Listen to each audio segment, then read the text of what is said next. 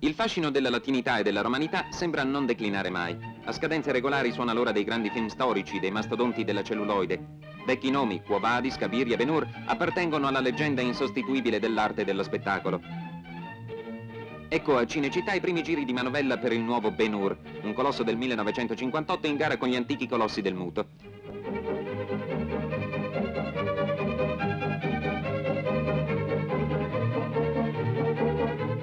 I cavalli, le quadrighe e i loro muscolosi conducenti nelle curve e nelle diritture del circo. Immagini che incantano ogni generazione. Spettacoli il cui allestimento costa miliardi e forse per questo vediamo fra i presenti il ministro delle finanze Andreotti. Grande parata con aura di leggenda e speriamo che anche l'arte non soggiaccia interamente allo stile e alla fastosità da circo.